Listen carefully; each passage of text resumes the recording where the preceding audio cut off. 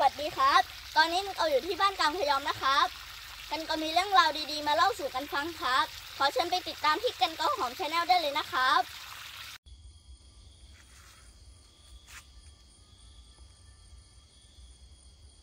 สวัสดียามค่ำนะครับ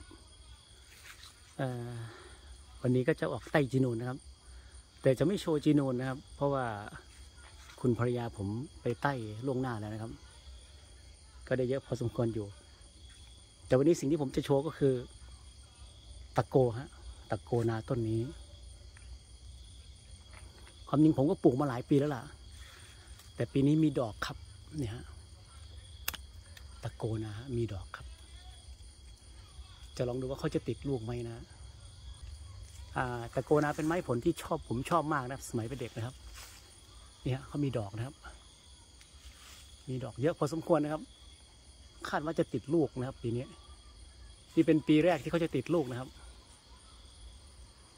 ผมคาดหวังที่จะกินตะโกนาที่โคกหนองป่าโนนนาใหญ่อยู่แล้วนะครับ แต่ไม่คิดว่าตะโกนาที่บ้าน จะเป็นดอกและจะติดลูกนะครับ เดี๋ยวไง จะให้ให้ดูความคืบหน้านะครับ ถ้าเขาอ่าถ้าเขาติดลูกไงจะโชว์ให้ดูอีกทีหนึงครับ ผมปลูกมาหลายปีแล้วล่ะนะครับ ก็ เขาก็จะเป็นต้นเก่าๆแก่ๆหน่อยนะครับต้นเขาจะมีเขาเรียกว่าหนาวเดือนห้าติดมาด้วยนะครับ เป็นสมุนไพรป่านะครับ สมุนไพรโบราณใครรู้ว่าสรรพคุณของหนาวเดือนห้าเป็นยังไงก็ไปค้นหาเอาเอานะฮะเมื่อก่อนจะเถาใหญ่กว่านี้นะครับ แต่ว่าเถาเดิมน่ะอ่ายังไงล่ะผูกไปแล้วนะครับ เนี่ย ให้ดูฮะเถาเดิมก็จะผูกไปแล้วแบบนี้นะครับ นี่ที่เหลืออยู่นะครับ นี่ที่เหลืออยู่นะครับ ส่วนเถาจริงๆน่ะ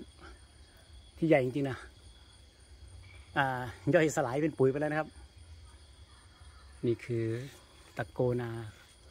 คู่กับหนาวเดือนห้านะครับ เป็นดอกเยอะเลยนะครับ เป็นดอกเยอะเลยนะเดี๋ยวไงถ้าเขาเป็นลูกเป็นอะไรจะโชว์ให้ดูนะครับ ไม่คิดว่าเขาจะเป็นดอกนะครับนู่นฮะข้างบนนะเห็นไหมฮะข้างบน ช่หมดนะครับ เดี๋ยวซูมให้ดู